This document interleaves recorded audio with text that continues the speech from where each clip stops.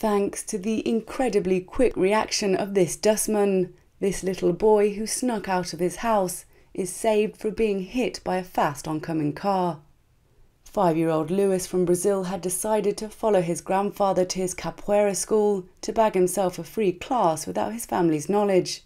The hero of the day, Dustman Kelvin, said, God puts us in the right place at the right time.